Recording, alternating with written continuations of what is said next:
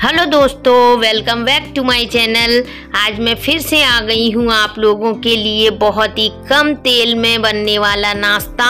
वो भी सिर्फ़ एक चीज़ से बनकर तैयार हो जाएगा और वो बहुत ज़्यादा प्रोटीन से भरपूर है। जो लोग वेट लॉस कर रहे हैं, उनके लिए भी बहुत ज़्यादा हेल्दी है और जो लोग वेट लॉस नहीं भी कर रहे हैं, जिनको कभी रोटी सब्ज़ी बनाने का मन ना करे तो इसको बनाकर खाइए पक्का आपका पेट फुल हो जाएगा। तो चलिए आ जाइए फटाफट से देखने के लिए।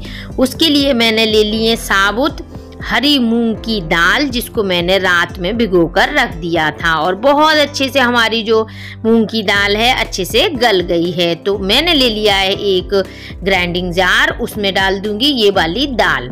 तो दाल जो है वो बहुत अच्छे से गल गई है तो बहुत ज़्यादा इसमें पानी ऐड करने की ज़रूरत नहीं है। तो मैंने ले लिए कुछ लहसुन की कलियाँ, अदरक और हरी मिर्ची। अब इसके ऊपर थोड़ी सी दाल डाल के बढ़िया सा पेस्ट हम बनाकर तैयार कर लेंगे। मिर्ची आप अपने टेस्ट के अकॉर्डिंग कम ज़्यादा तीखेपन के अकॉर्डिंग डाल सकते हैं। तो जो पहली बार में जो हमने पीसा, वो बहुत अच्छे से पीस गया है। अब हम सेकेंड बार में पीस रहे हैं तो अब हम इसमें ऐड करेंगे दही। दही जो है, बहुत ज़्यादा खट्टा भी नहीं होना चाहिए और एकदम सिंपल भी नहीं होना चाहिए। तो थोड़ा सा दही डाल के और सेकेंड बैच भी हम अच्छे से पीस लेंगे। सारी दाल को हम अच्छे से मिक्स कर लेंगे। अब इसमें हम डाल देंगे एक चम्मच भर के बेसन और एक चम्मच भर के सूजी। इन दोनों को मिलाने से क्या होगा कि जो चीज़ हम बना रहे हैं, वो बहुत अच्छे से टेस्ट में आ जाएगी। और थोड़ा सा ऑयल एक चम्मच मैंने इसमें ऐड कर दिया है। और अब इसमें ऐड कर दूँगी टेस्ट के अकॉर्डिंग नमक। अगर आप चाहें, बेसन और सूजी को स्किप भी कर सकते हैं, लेकिन डाल देंगे तो बहुत अच्छा टेक्सचर आएगा। और इनको अच्छे से दाल में मिक्स कर देना है।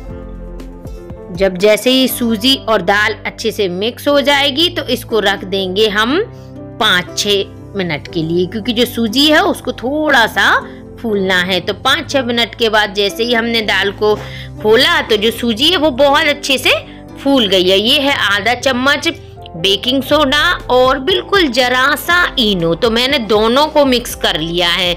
आप चाहें तो दोनों में से कोई एक चीज़ ले सकते हैं, जो आपके पास अवेलेबल हो। थोड़ा सा पानी डाल के और एक ही डायरेक्शन में दाल को हमने फेंटना है। बिल्कुल जरा सी देर के लिए, दो मिनट के लिए और इसमें बबल उठने लगे हैं।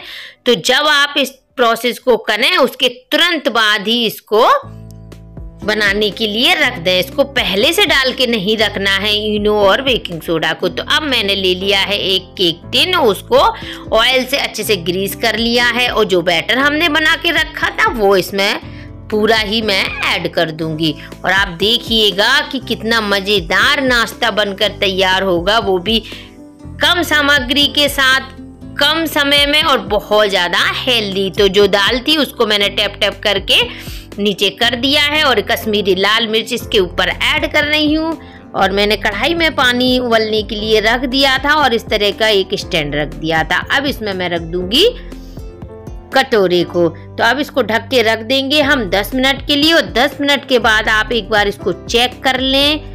तो आप देखेंगे कि अभी चाकू में थोड़ा थोड़ा सा जो दाल है वो लग रही है तो इसको फिर से ढक के रख देंगे 10 मिनट के लिए। तो जो हमारा ढोकला है वो 20 मिनट में बनकर तैयार हो जाता है। तो देखिए, चाकू हमारा एकदम क्लीन आ जाएगा अब की बार। तो हमारा जो ढोकला है, वो बहुत अच्छे से बन गया है। ये देखिए तो अब हम इसके तड़के की कर लेते हैं तैयारी। तो मैंने ले लिया है एक तड़का पैन और उसमें डाल दिया है ऑयल थोड़ी सी राई डाल देंगे, थोड़ी सी इसमें वाइट तिल ऐड कर देंगे। तिल से इसका टेस्ट बहुत अच्छा आता है और अब इसमें हम ऐड कर देंगे। हरी मिर्ची हरी मिर्ची को थोड़ा सा चटकने देंगे, उसके बाद इसमें हम ऐड कर देंगे फ्रेश करी पत्ते।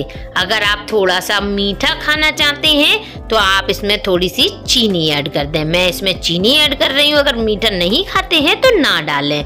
तो थोड़ी सी चीनी डालने के बाद इसमें हम ऐड कर देंगे पानी, जिससे इसका जो हम तड़का तैयार कर रहे हैं, वो बहुत बढ़िया सा जूसी जूसी सा तैयार हो जाए। तो तड़का हमारा तैयार हो गया है। तो अब हमने जो बनाया है, ढोकला, उसको हम कर लेंगे डीमोल्ड बहुत आसानी से डीमोल्ड हो जाएगा। आप देखिएगा, बिल्कुल केक की तरह लगेगा, ऐसा लगेगा कि जैसे हम मूंग दाल की केक बना रहे हैं और स्टीम्ड केक की तरह बन गई है। और बहुत आसानी से निकल जाता है टैप टैप करके। ये देखिए लग रहा है ना मज़ेदार दिखने में, ऐसा लग रहा है कि जैसे कि हमने मूंग दाल की केक बनाई है। बहुत ही स्पॉन्जी बना है आपको मैं दिखा रही हूँ, ये देखिए, और इसको देखने में ही बहुत सुंदर लग रहा है।